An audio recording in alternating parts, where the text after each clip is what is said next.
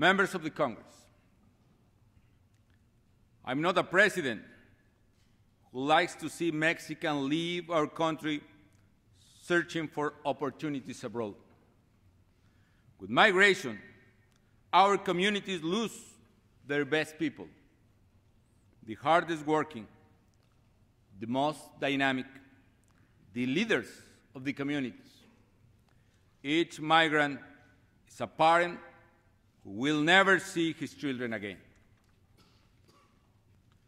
Today, we are doing the best that we can do in order to reduce migration, to create opportunities, and to create jobs for Mexicans in our own country, where their homes are and where their families are. For us, migration is not just your problem. We see migration as our problem as well. My government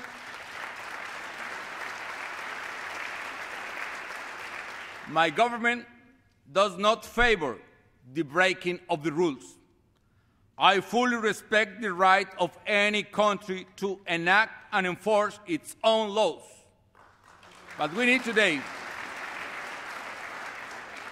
but what we need today is to fix a broken and inefficient system.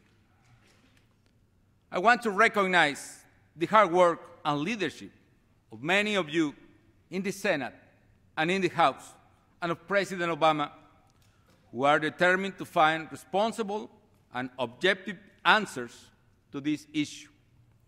I am convinced that a comprehensive immigration reform is also crucial to securing our common border.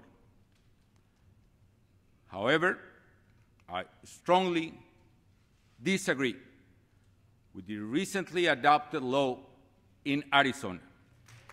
It is a law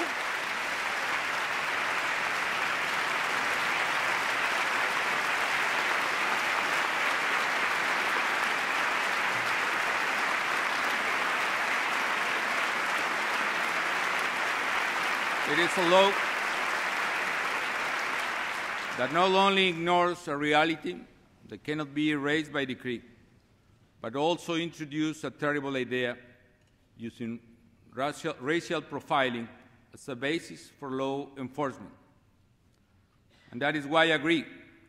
I agree with President who said the new law carries a great amount of risk when core values that we all care about are breached.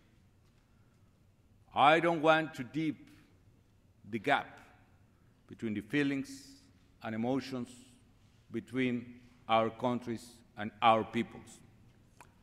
I believe in bridge. I believe in communication. I believe in cooperation. Uh, we must find together a better way to face and fix this common problem.